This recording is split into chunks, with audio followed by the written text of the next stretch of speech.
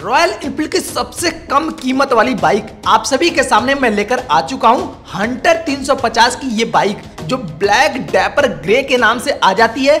इसका प्राइस सुनकर आप लोग हिल जाएँगे।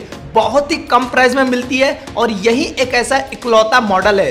जो रॉयल इनफील्ड में आपको एवरेज में भी मिल जाती है, लेकिन फीचर के मामले में क्लासिक का टक्कर दे देती है। आज मैं आपको फुल रिव्यू करके दिखाने वाले हैं। टोटल इसमें क्या क्या फीचर्स है, ये सभी चीज़ें मैं आज आपको बताने वाला हूँ। इसकी जो लुकिंग है, किस तरह से दिखती है, इसके जो फीचर्स है, वो किस तरह दिखती है, ये सारी चीज़ें आज के इस वीडियो में कंप्लीट करने वाले हैं। तो वीडियो की भावना में खोने से पहले एक लाइक ज़रूर कर दीजिए।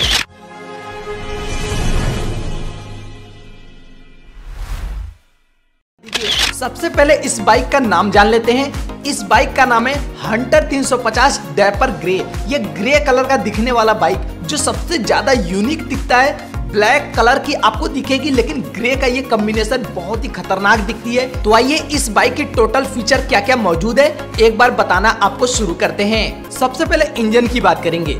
इसका इंजन 350 सीसी का दिया गया है। बोर की बात करें 75 एम एम स्ट्रोक की बात करें 85.8 एम एम कंप्रेसर रेशियो 9.5 संबंध one maximum power 20.2 bhp 6100 RPM के साथ मैक्सिमम टॉर्क 27 एनएम 4000 आरपीएम के साथ, ये सभी चीज़ें क्लासिक 350 में देखने को मिल जाएगा। लेकिन बोर की बात करें तो यहाँ आपको हंटर में बोर 75 मिलता है क्लासिक में 72 मिलता है। बाकी सभी चीज़ें अभी जो मैंने बताया, वो सेम टू सेम क्लासिक और हंटर दोनों में मिल जाता है। बाइक के मैक्सिमम स्पीड की बात करें तो कंपनी क्लेम करती है 114 किलोमीटर प्रति घंटा की स्पीड से ये जा सकती है।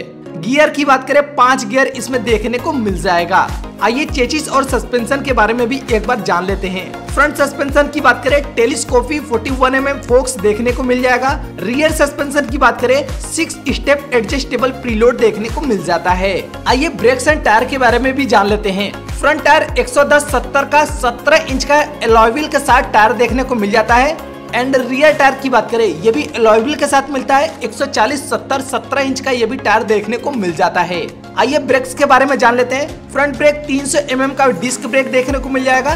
रियर ब्रेक की बात करें 270 mm का disc brake single piston floating caliper के साथ मिल जाता है और ये सारा ब्रेक और टायर सेम टू सेम आपको क्लासिक में भी देखने को मिल जाता है। एबीएस की बात करें तो यहाँ आपको डुअल चैनल का एबीएस देखने को मिल जाता है। सेम यही स्टील ब्लैक में भी डुअल चैनल देखने को मिल जाता है। आइए हेडलाइट के बारे में जान लेते हैं। यहाँ आपको बारह वोल्ट का फुल्ली हेलोजन लाइट देखने को मिल जाएगा। एलईडी नहीं मिलता है। ये मिड वेरिएंट के कैटेगरी में आ रहा है। इसमें आपको यहाँ पे जो इंडिकेटर देखने को मिल रहा है ये आपको बहुत ही प्यारा ब्लैक कलर का आपको बैक में दिखेगा, ऑरेंज कलर का सामने दिखेगा। किस तरह से जलता है ये भी आप देख लीजिए। बहुत ही प्यारा कलर का इंडिकेटर भी देखने को आपको यहाँ पे मिल जाता है। बैक में भी देखें तो कुछ इस प्रकार से इंडिकेटर मिलेगा। चारों इंडिकेटर हज़ार बटन से भी आप एक साथ जला भी सकते हैं। मीटर की बात करते हैं तो यहाँ आपको मीटर डिजिटल और एनालॉग दोनों का कम्बिनेशन मीटर देखने को मिल जाएगा। इसे कंट्रोल करने के लिए आप सभी के सामने यहाँ पे आई बटन भी देखने को मिल जाएगा। ये देखिए आई बटन है।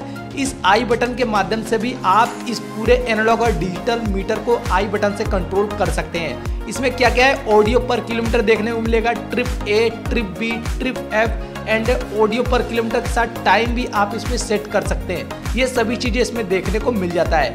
यहाँ साइड में एक होता है नेविगेशन बटन।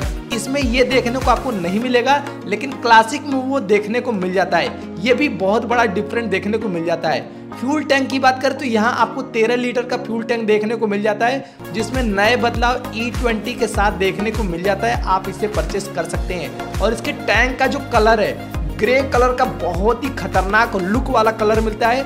आपको टैंक पर बहुत ही प्यारा रॉयल इनफील्ड का यहाँ पे लोगो भी देखने को मिल जाएगा, जो रॉयल इनफील्ड को दर्शाता है। बटन पार्ट्स हर बाइकों की तरह सेम इसमें भी देखने को मिलेगा। फाइनली इसमें कौन कौन सा एसेसरी लगा है प्राइस कितना है माइलेज क्या है, वो भी जान लीजिए। यहाँ आपको इंजन कार्ड देखने को मिल जाएगा ब्लैक इंजन पर ब्लैक कलर का इंजन कार्ड देखने को मिलेगा। और सामने से आप देखेंगे तो कुछ इस प्रकार से इंजन गार्ड देखने को मिलेगा और नीचे आपको यहाँ पे संप गार्ड देखने को मिलेगा। ये संप गार्ड धूल, मिट्टी, कंकड़ आदि से आपके इंजन को बचाता है। ये आपको मेटल का मिलेगा, बहुत ही प्यारा आपको देखने को मिल जाएगा। एंड इसके साथ साथ आप देखेंगे तो यहाँ आपको बैकरेस्ट देखने को मिल जाएगा। इस पे भी आपको रॉयल इनफील्ड का लोगो भी देखने को मिल जाता है। ये भी बहुत ही प्यारा गद्दीदार देखने को मिल जाता है।